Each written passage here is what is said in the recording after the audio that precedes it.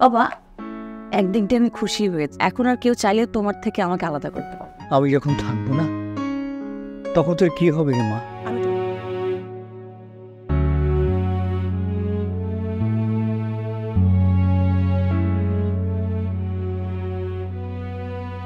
বাবা?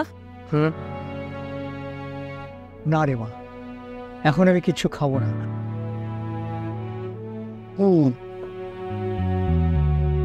কেন? তোমার মেয়ের বিয়ে ভেঙে গেছে বলে মন খারাপ? না রে। শরীরটা ভালো লাগছে না তো তাই। বাবা একদিকটা আমি খুশি হয়েছি। আমার বিয়েটা ভেঙে গেছে তাই? এখন আর কেউ চাইলে তোমার থেকে আমাকে আলাদা করতে পারবে। এ কথা বলতে নেই বাবা। স্বামীর ঘরে তো মেয়েদের আসল ঠিকানা। কেন বাবা বাবার ঘর কি মেয়েদের আসল ঠিকানা হতে পারে না? তা কি কখনো হয় রে মা? এটা তো সমাজের চিরাচরিত নিয়ম।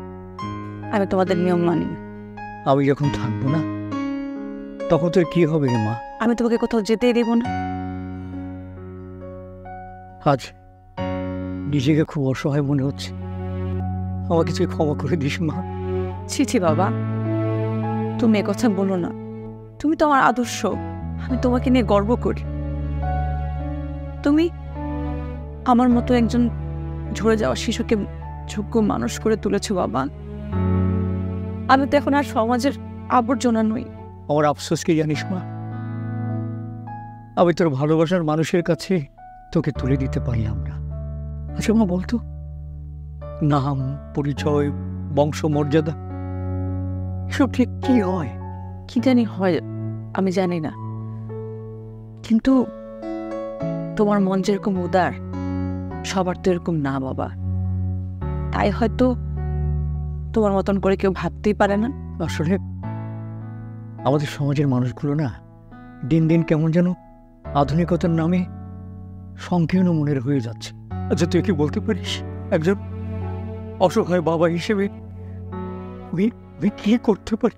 তোমাকে কিচ্ছু করতে হবে না বাবা। তুমি যেমন রাস্তা থেকে কুড়িয়ে এনে আমাকে মানুষ করেছ আমিও ঠিক ঝরে যাওয়া শিশুদের মানুষের মতো মানুষ করে দেবো। আমি আমি যে নিজেকে কিছুতেই বোঝাতে পারছি না, মা। আমার যে খুব অসহায় লাগছে রে, মা। আমি কি বাবা। বাবা, আজকে থেকে আমার ভালোবাসা শুধু তুমি আর আমার ওই কচি কাছে বাচ্চারা। আমি আমার জীবনটাকে তাদের স্বপ্ন গড়ে তোলার জন্য উৎসর্গ করব, বাবা।